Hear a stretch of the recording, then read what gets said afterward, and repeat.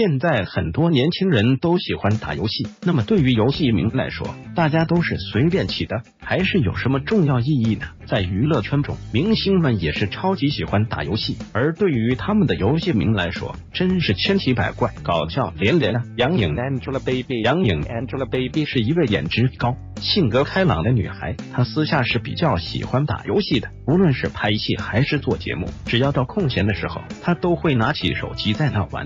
如果没事的时候，她也会去网吧玩会。杨颖的游戏名，大家肯定会很好奇吧？本来杨颖想写 Angelababy。谁知已经被人注册了，无奈只好改 A B 零零七了。陈赫，陈赫也是非常沉迷于游戏。对于他的游戏名，陈赫可是经常在跑男里有说过哦。对。就是天霸动霸 T U A 是不是很霸气的感觉呀？李佳航，李佳航因出演《爱情公寓》第二季和《新还珠格格》而受到关注，颜值高、演技好的他也是片约不断，事业上升期的他公布了与李晨的恋情，自曝是因为拍摄《新还珠格格》而因戏生情。李佳航私下也是非常喜欢打游戏，他的游戏名叫我的八戒，你瘦了。哈哈，真不知这个八戒是谁？鹿晗，鹿晗是娱乐圈中当红的人气小生，唱跳俱佳的他长着一副迷死人不偿命的容颜。鹿晗私下也是超爱打游戏，看他拿起手机专心打游戏的样子，真是帅呆了。鹿晗的游戏名可以说是很嚣张的了，叫做“快来小我呀”。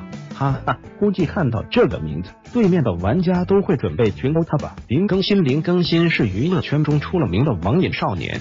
泡网吧打游戏已经成为了林更新的终身标签了，而林更新每次打游戏还特别喜欢吃一种零食，对，就是辣条。不得不说，林更新真是一位非常接地气的男星。林更新的游戏网名。可以说是非常的自恋，竟然都叫九亿少女的吗？王思聪，林更新的好友王思聪，也就是万达集团董事王健林的独子，北京普思投资有限公司董事长，IG 电子竞技俱乐部创始人，万达集团董事王思聪私下里也是喜欢打游戏，特别是经常看到他和林更新在一起。